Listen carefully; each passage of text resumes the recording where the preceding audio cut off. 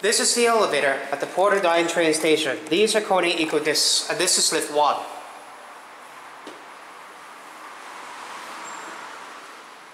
Here it is at 0.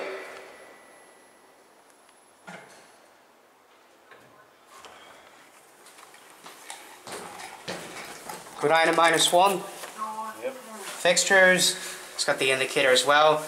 Capacity is 1,000 kilos, 1,000 persons, built in 2012. 11 years ago. Hmm.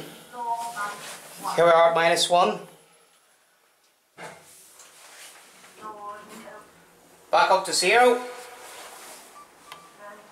Look at you say hey now. It's got the LED light fixture up that ceiling. Stop look at the camera please.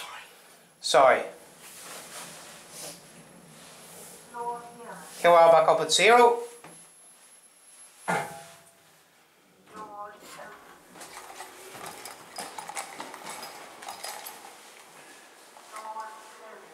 There goes lift number one, and then we can go to the platform lifts, which is two and three.